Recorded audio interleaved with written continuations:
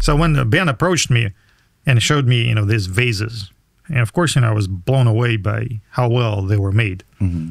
And because I am open-minded, you know, I started thinking about, you know, crazy stuff, like maybe, you know, reptilian beings from other stellar systems were making them with their scaly hands. Hmm. And if that was the case, of course, you know, they wouldn't use chisels or lathes. You know, they would use, you know, some other magic. And as a nuclear scientist, the thing that comes to mind is uh, yeah, nuclear technology. Because everybody knows that there is so much more energy within a nucleus than in a chemical bond. It's not even funny. Yeah, and Right. it's really thousand times, if not ten thousand times more energy per unit mass. Which means if you are an advanced civilization, you probably have mastered you know nuclear science to the degree to where to you it's like nothing. Mm-hmm. And with that in mind, it becomes possible to machine stuff by nuclear means, and that's where my you know, nuclear machining hypothesis originated from. Okay. I started thinking if I could produce isotopes, and you know what isotopes are, right? Uh, maybe you should give a broad definition of it. But so yeah. every element in nature comes in several varieties. Uh, Like take iron, you know, there are several isotopes. It's still iron, but you know they differ by the count of neutrons, meaning uh, one is slightly heavier or slightly lighter than the other. But any natural element is a mixture of isotopes, and some isotopes are benign in the sense that the only difference between them is uh, just the count of neutrons. But in your body, in my body, in every object, you know, there is the same mixture of them. But some isotopes are not benign, they are radioactive. And uh, this is particularly important in the course of uh, nuclear engineering. So you build a power plant, you know, you put nuclear fuel in, and when that fuel decays, it produces a lot of neutrons that activate, meaning make new isotopes. So, so neutrons are kind of like a catalyst in nuclear science because they are absorbed by all elements differently. And when uh, an element absorbs a neutron, it changes its isotopic composition. So it, one isotope transforms into another. And a lot of isotopes that are formed by neutron capture are radioactive, meaning they emit gamma rays, they emit you know, alpha particles, beta particles, Okay. and what that emission means, it's, it means an emission of energy. And energy at a pretty significant level. So, to put things in perspective, uh, like a common type of radioactivity is alpha decay, meaning when uh, an element decays, isotope decays, it emits an alpha particle. And this alpha particle travels pretty much at the speed of light. Not quite, but you know, comparable to the speed of light. So when it hits something, it erodes a material it hits. Basically takes layers away. It's it's like a miniature projectile. And in the uh, context of uh, nanotechnology, this is known as uh, you know nanomachining or ion machining. So in fact, uh, a lot of electron microscopes or a lot of uh, you know semiconductor fabrication equipment comes with ion beams. So it's like have- when you see like uh, in Chernobyl when the when the meltdown happened in Chernobyl and they like tried flying the helicopter over it, it the helicopter just like disintegrated. Well, I think uh, it's uh, an exaggeration, but in principle, that's possible. You know, Uh-huh. if you're, I thought that happened. It was in the show. well, I would doubt it would have, you know, disintegrated uh, just because it was exposed to radiation at the level that Chernobyl could produce it. But in principle, you know, if, if you. I have see. like a powerful enough uh, nuclear reactor, yeah, you know, shit would just disintegrate, you know, entirely. Right. So I would say, you know, the nuclear science in general, it's like the next frontier of knowledge because, you know, with it, you can do things that look like magic. You know, you can make things disappear. You can make, you know, matter out of nothing. You know, you can change, you know, lead to gold. You can, uh, I'll, I'll give you a, a more You could turn lead to gold. Yeah. I mean, th- that's what, you know, nuclear science In is theory, about. right, right. In practice. Oh, Yeah. It's been done. I mean, you don't get a lot of it on like a unless small on the small yeah, level. yeah, unless you have like a very powerful reactor. But I'll, I'll, I'll give you this example. uh, you know, like plutonium 239, which is a you know weapons grade you know material. That's you know what what you put in a plutonium bomb. That's a very valuable metal because unless you have like a critical amount of it mm-hmm. to where it will explode, you have like a small amount of it. The unique feature about it, it stays hot all the time, you know, red hot. So if if you like go on the internet and you Google a picture of plutonium, you'll get a picture of a glowing like chunk of metal. And that's what you know nuclear energy is about. It stays hot all the time, year after year after year, you know, decade after decade. Yeah, like that. Until it decays completely. It's just so full of nuclear energy that energy is coming out of it in terms of this alpha particle emission. Right. And it how long does it hot. stay like that? Years, decades. And And this is one of the problems. This is one of the major problems with nuclear power plants, right? This- Well- this, is what they say that you have to like bury the nuclear material. Uh, and- I, I will get to it, but okay. What what is unique about plutonium? So sorry, two thirty eight. Yeah, uh, mixed up with two thirty nine. Is uh, you send a satellite to space, let's say Voyager, right?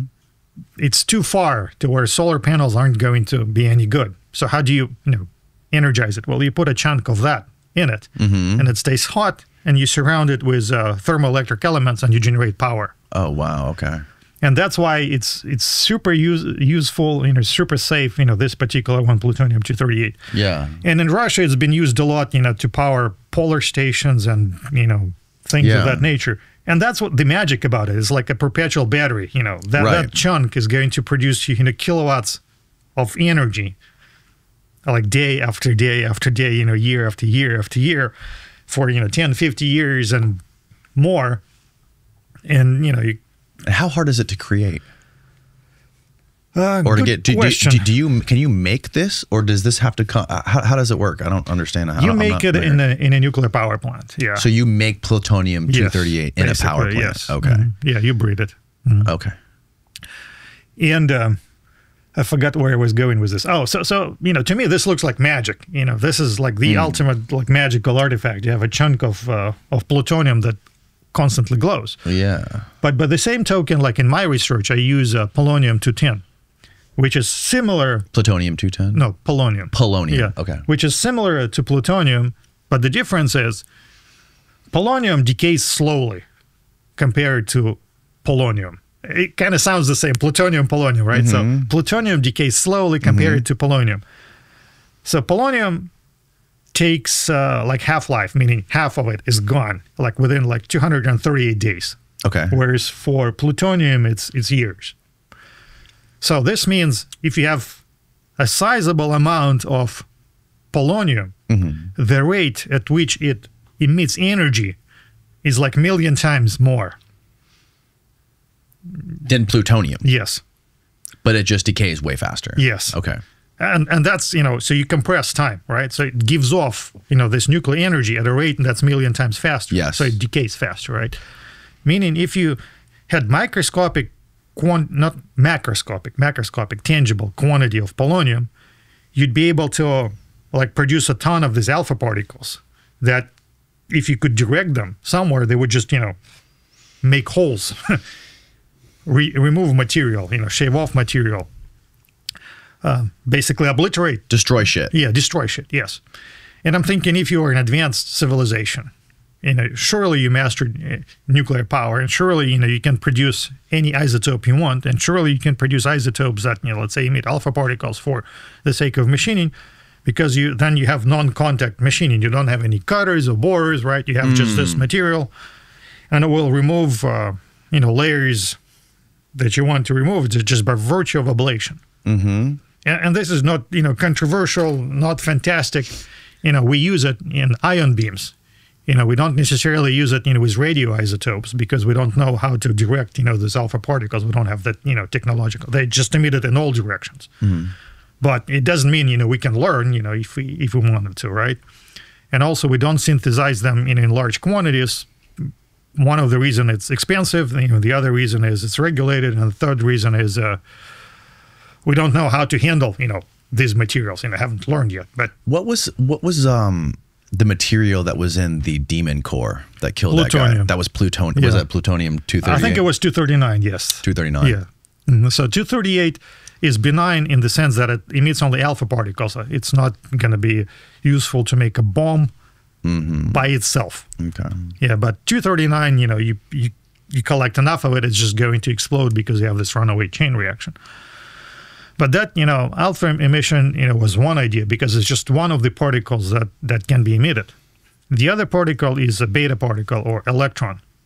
So basically, when some isotopes decay, they emit either alpha particles, which is helium ions. Another possibility, when isotope decays, it emits beta particles, which is electron, high energy electron. Basically, it's a source of electricity.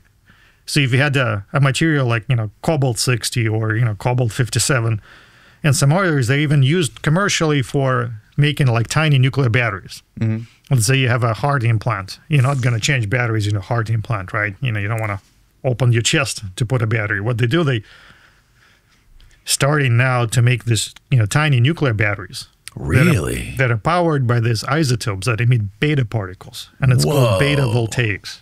And they use these now? Yes. The uh, the drawback of this uh, is very low power, so you cannot run your iPhone on beta voltaics yet.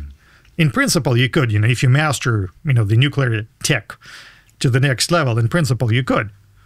If you generated enough of this, you know, isotopes, and it was economical enough, because what what happens is they constantly produce electricity in terms of this, uh, you know, high energy electrons. Yeah. And not only you can power something, but also you know these uh, high energy electrons they tend to saturate the the uh, you know lattice of the material with electrons. And if you recall uh, solid state physics, we have ions, and then we have electrons. And electrons are kind of like a glue that holds the lattice of ions together. So if you add too many electrons into your lattice, you change the elastic properties of your material. So all of a sudden, the material that was solid, you know, may become you know, pliable or malleable because you just you just oversaturated with electrons. And that's a kind of a you know a conjecture hypothesis with some experimental support, because uh, I don't know if you heard about you know Hutchinson effect. So there is this uh, crazy inventor in Canada who is known to have uh, played with um, radio frequency equipment like radars and uh, radio generators and coils. And in his experiments, he would uh, all of a sudden spontaneously either metals would fuse or would crack, or, or metal would fuse with non-metal. It, it's like almost voodoo, but you know I've seen samples myself, so I know it hasn't been cooked. And the best explanation I've heard uh, of it is uh, under certain conditions, you can oversaturate a solid state lattice with electrons, and then the plastic properties of the materials change. So, what idea I get from it, if if you have a, a nuclear isotope that emits a lot of beta particles out of electrons, you can put it in contact with the body that you want to machine, and all of a sudden, a body that was hard becomes soft as putty. And then you know you can machine it, you know, without too much effort. Hmm. So it's it's a different mechanism. So with alpha particles, you ablate, it. so you shave off layers by virtue of ions impacting and, and punching holes. But with electrons, you change elastic properties, and that's a transient change. Oh, this is the Hutchis the Yes. Mm-hmm. Effect. So what is it? What's happening here, Steve? I think that's what he's talking about. It- Yeah, it's a gonna- block of What is metal. that? That's There- metal. there's Block of metal. Whoa! And they're shooting it with with uh, beta particles or No, beta, just electromagnetic fields. just electromagnetic fields. Mm-hmm. Wow. Oh, that's wild. A block of iron. Yeah, I mean it's unbelievable. And, and that's what I'm saying. I think the answer is in, in nuclear technology. So you think that they were using this nuclear technology to soften granite? I think it's possible. You know, I don't know. I can only speculate, you know, what, Sure. what happened in the past. But I'm thinking, you know, creatively, about, you know, as an engineer, what I would do if I wanted to mm-hmm. accomplish. And two things come to mind. Yeah, I would use electrons to change the elastic properties of stone. and then I'd be able to machine and mold it. And especially that looks plausible in the context of Peru, where you have this, you know, polygonal uh, masonry. Mm-hmm. And you know, when I look at it, it clearly has uh, you know superficial evidence of plastic deformation, and that's why uh, I'm very you know supremely interested in in going there and taking samples that I can study in my lab and my electron microscope and subject those samples to my nuclear instruments to see if I'll be able to spot signs. Thank you.